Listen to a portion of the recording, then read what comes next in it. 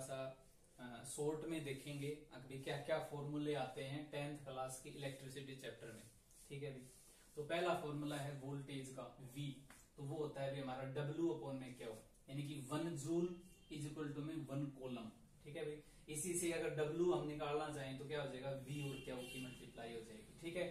तो ये होता है हमारा वोल्टेज दूसरा फॉर्मूला करंट का I इज़ इक्वल टू में क्या वो अपॉन में टी आई की यूनिट होती है एम्पियर क्यू की यूनिट होती है, चार, ये जो अपनी कुलाम और टाइम की होती है सेकेंड तीसरा महत्वपूर्ण फार्मूला भाई आर इज़ इक्वल टू में वी अपॉन आई इसी से संबंधित अभी ohm's law V directly proportional to I होता है. इसके बाद आता है रेसिस्टेंस इन सीरीज़ तो आर वन प्लस में R two and so on जितने होंगे तो सीरीज़ के अंदर अगर रेसिस्टेंस होंगे तो ऐसे करेंगे. अगर पैरेलल के अंदर रेसिस्टेंस है सीरीज़ के अंदर तो होते हैं इस तरह से. पैरेलल के अंदर हमारे होते हैं भाई, इस तरह से ऊपर और एक ऐसे नीचे, ठीक है? तो ये होते हैं पैरेलल के अंदर। तो उनके निकालने का फॉर्मूला है one upon R one plus one upon R two जितने भी रेसिस्टेंस होंगे, उनको ऐसे हम ऐड करते जाएँगे। अगला है भी हमारा रेसिस्टेंस का formula R is equal to में रो डॉट में L upon L is the length A area और आर रो है रेसिस्टिविटी और आर रेसिस्टेंस है। अगला है भी पावर का formula V I V is the voltage I is the current I square R V square upon R और W upon में ठीक है?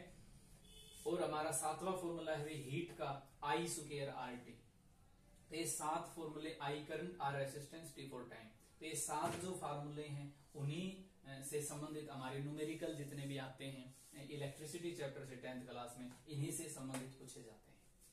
अगर हम थोड़ी सी और डिटेल में जाएँ इसी के अंदर तो जैसे जो वोल्टेज से संबंधित जो बातें आपको क्या ध्यान रखने भाई? वोल्टेज जो होता है, उसको हमेशा पैरेलल में लगाते हैं। वोल्टेज को हमेशा पहले जो आपका है, भाई पैरेलल में लगाते हैं वोल्टेज को हमेशा, ठीक है?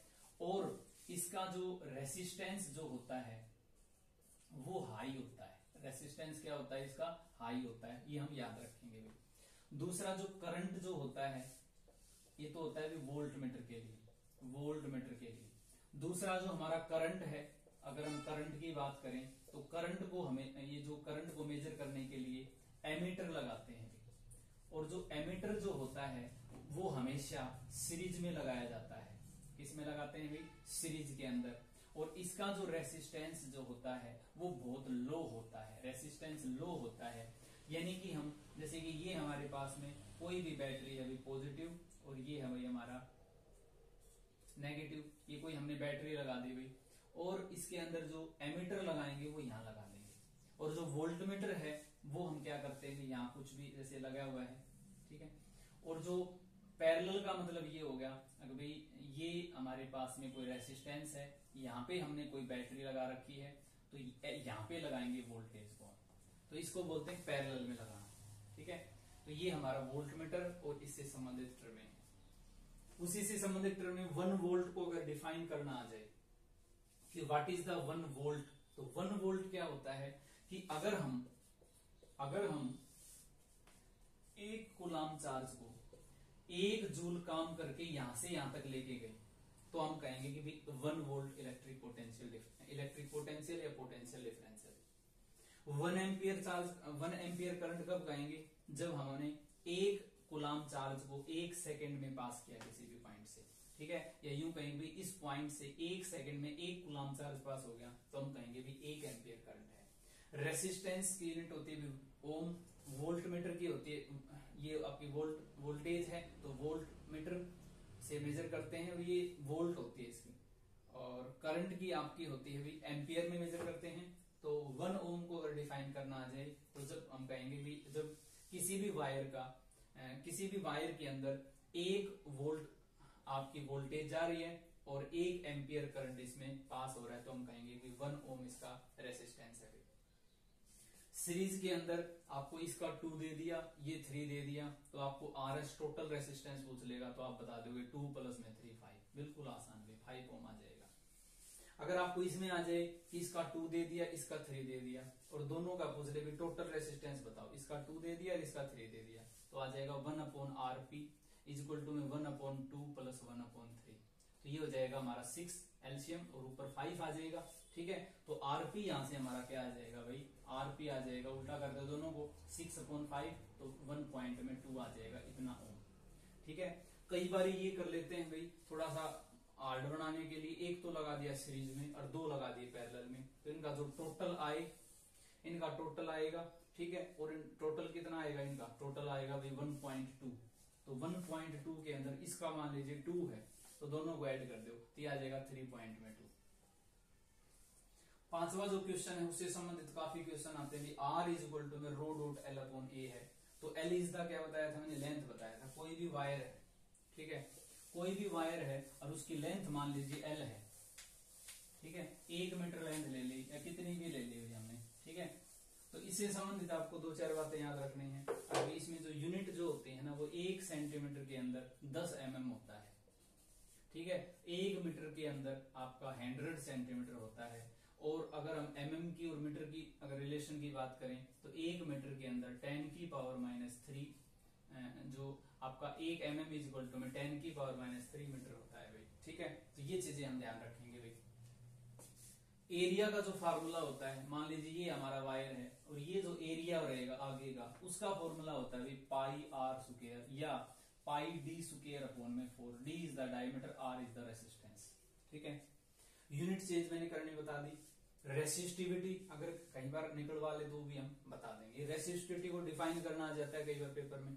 तो रेसिस्टिविटी को हम रेसिस्टेंस के बराबर कब कहेंगे? दोनों को बराबर कब कहेंगे? जब ये भी वन हो जाएगा ये भी वन हो जाए, यानी कि हमारे पास में कोई ऐसा वायर आ जाए जिसकी लेंथ तो कितनी हो? एक मीटर लेंथ हो। और एरिया ऑफ़ क्रॉस सेक्शन कितना हो? एक मीटर स्क्वायर हो। तब हम कह देंगे आर और रो दोनों बराबर हैं। अगर किसी की रो की वैल्यू बहुत कम है तो हम कहेंगे कि वो बहुत अच्छा कंडक्टर है। अगर रो की वैल्यू सबसे ज़्यादा है तो हम कहेंगे वो इंसुलेटर है। इंसुलेटर जैसे कि रबड़ है प्लास्टिक है कंडक्टर मतलब जैसे सिल्वर है कॉपर है एल्यूमिनियम है तो ये सारे क्या होते हैं कंडक्टर जिसमें से अच्छे से इलेक्ट्रिसिटी पास हो जाए और जिसमें इलेक्ट्रिसिटी पास ना हो, उसको हम क्या बोलेंगे भाई? उसको हम बोलेंगे इंसुलेटर और कुछ भाई इनके बीच में भी आते हैं, ठीक है? चलो R is equal to rho dot L upon A ये आप भाई करके देख सकते हैं, कोई नहीं समझ में आए तो मुझे बता सकते हो। इससे अगला है छह का। भाई P इज़ इक्वल टू में जो वी आई है तो उसमें आपको वोल्टेज दे दिया जाता है करंट दे, और करंट दोनों दे देगा, और पावर पूछेगा तो बता देंगे। अगर पावर को डिफाइन करना आ जाए तो जो rate of work done power क्या होता है भाई? Rate of work done rate of work done ये होता है भाई power rate of work done is called power power की जो यूनिट होती है, वो होती है वाट। तो one watt is equal to में, ये वर्क का क्या होता है? जूल। तो वन जूल अपॉन में वन सेकेंड भाई। when one joule work is done in one second, then we say that power is one watt तो पावर कितनी कहेंगे? एक वाट कहेंगे वर्क का जो फॉर्मूला होता है वो याद रखना भाई वी आई टी होता है। तो वर्क अपॉन टाइम क्या हो जाएगा? टी से टी डिवाइड तो वी आई आ जाएगा। इसलिए एक फार्मूला आ जाता है हमारा वी आई ठीक है? और आई के जगह, अगर हम आई के जगह यहाँ से हम अगर पुट कर दें वी अपॉन में आर तो ये बन जाएगा वी स्क्र अपॉन में आर अगर हम v के जगह पुट कर देंगे भाई आई आर वी के जगह पुट कर दिया मैंने यहाँ पे आई आर ठीक है? वी आई था ना तो v के जगह क्या लिख सकता हूँ मैं? आई आर लिख सकता हूँ। और ये क्या था? आई तो बन जाएगा आई सुकेयर आर ये सारे फार्मूले भी पी से संबंधित भी हम याद रख सकते हैं। उसके बाद आ जाता है कि हमारा सेवन का है भाई हीट से संबंधित आई सुकेयर आर टी अच्छा एक और बात बताता हूँ। पावर जो होती है ना, उसमें एक फार्मूला ये भी बन जाता है वर्क डन या कहीं हम एनर्जी इज़ इक्वल टू में पी इंटू में टी पावर इंटू में टाइम ठीक है भाई? तो वो भी हमारा एक फार्मूला बन जाता है, कहीं पर पूछ ले तो। एक जो किलोवाट आवर होता है, एक किलोवाट जो आवर होता है, वो वन यूनिट के बराबर होता है, और उसमें 36 लाख जूल होते हैं भाई। कितने जूल होते हैं? 36 लाख, यानी कि थ्री पॉइंट में थ्री पॉइंट के अंदर सिक्स इंटू में टेन की पावर सिक्स जूल होते हैं, ये भी हम याद रख सकते हैं भाई।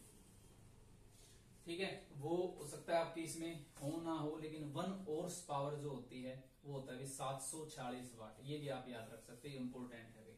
ठीक है? तो ये आपके हो जाते हैं उसके बाद आ जाता है आपका heat H is equal to में आपका I square R T H is equal to में दे रखा है आपका आई सुकेयर आर टी यानी कि हीट उतनी ही ज़्यादा प्रोड्यूस होगी किसी भी वायर के अंदर। मान लीजिए कोई वायर है और उसमें से करंट पास हो रहा है तो जैसे हमारी प्रेस जो होती है, वो इसी इलेक्ट्रिसिटी का जो हीटिंग इफ़ेक्ट है, उसी से ही संबंधित है। ठीक है प्रेस गर्म हो जाती है नीचे से। क्यों? क्योंकि वो वही उसके अंदर निक्रोम कुछ वही क्वाइल होती है। ठीक है तो वो क्वाइल की रेसिस्टेंस उनका ज़्यादा होता है तो उसी कारण से वो भाई उसमें हीटिंग इफ़ेक्ट दिखाता है। तो H डायरेक्टली प्रोपोर्शनल होएगा I square H directly proportional to R H directly proportional to time मतलब क्या है कि जितना ज़्यादा हम करंट पास करेंगे, उतना ही हमारा वायर ज़्यादा गर्म होगा।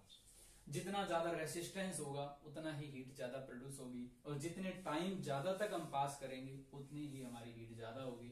इसलिए कई बार हम देखते हैं कि मोटर गर्म हो जाती है। गर्म का मतलब ज़्यादा टाइम तक अगर हमने चलाई तो ये हीट का फॉर्मूला है हमारा आई सुकेर आर टी तो कोई भी चीज़ अगर इनमें से इन तीन चीज़ें दे देंगे, आपसे हीट पूछेंगे तो हम निकाल देंगे। ठीक है? अच्छा। इसके अलावा जो हमारे सिलेबस के अंदर जो है भाई, वो ये है, कुछ सिंबल भी दे रखे हैं। तो सिंबल में जैसे बैटरी का सिंबल क्या होता है भाई? पॉजिटिव ये इस तरह से भी सिंबल है। दो या दो से ज़्यादा जो सेल होते हैं, उनसे हमारे बैटरी बनती है। सेल का सिंबल हमारा क्या होता है भाई? ये एक सेल का सिंबल होता है। ठीक है? बल्ब का जो सिंबल होता है वो इस तरह से होता है रेसिस्टेंस का जो सिंबल होता है वो इस तरह से होता है ठीक है? और जो आपका ऐसा रेसिस्टेंस जो वेरिएबल हो चेंज हो जाए, उसका इस तरह से होता है। या ऐसे भी लगा देते हैं। ठीक है वेरिएबल रेसिस्टेंस जो हमारे यहाँ पे यूज़ नहीं होगा इलेवेंथ में थोड़ा यूज़ होता है। ठीक है? इसके अलावा जो स्विच का सिंबल होता है, ये होता है स्विच का। ऑन का बीच में डॉट लगा दो ऑन हो गया है। ठीक है? और तो ये हमारे भाई एमीटर है तो उसका सिंबल होता है, एक तरफ़ पॉजिटिव नेगेटिव लगा दो। वोल्ट मीटर है तो वी लगा दो, उसके अंदर भी पॉजिटिव नेगेटिव ठीक है? तो वो एक आधे सिंबल और भी है उसमें तो वो हम कर सकते हैं आसानी ठीक है? वो हम याद करने पड़ेंगे तो वो हम याद कर लेंगे। सिंबल अच्छा जब हम सीरीज़ के अंदर किसी को भी जोड़ते हैं, और एक हम पैरेलल के अंदर जोड़े तो क्या मतलब फ़र्क होता है इसके अंदर भी? हमारे घरों में जो लाइट होती है, वो पैरेलल कॉम्बिनेशन वाली होती है। मतलब अगर एक बल्ब खराब होगा तो इसका मतलब ये नहीं कि सारी लाइट खराब हो जाएगी। लेकिन अगर सीरीज़ में जोड़ रखी है ना कई चीज़ें तो एक चीज़ खराब होएगी ना तो आगे करंट नहीं जाएगा और कोई भी चीज़ नहीं जलेगी। ठीक है भाई? तो ये सीरीज़ में और पैरेलल में फ़र्क होता है। ठीक है? तो ये चीज़ें थी भाई हमारे इस इलेक्ट्रिसिटी चैप्टर के अंदर जो खास खास चीज़ें थी, मैंने बता दी। फिर भी आपको कोई चीज़ ऐसी है इस चैप्टर के अंदर जो आपको नहीं समझ में आती हो, जैसे कोई न्यूमेरिकल है ये आप अच्छे से याद कर लो, सारे न्यूमेरिकल कवर हो जाएँगे, इसी से संबंधित है। ठीक है ना? ओके बाय जय हिंद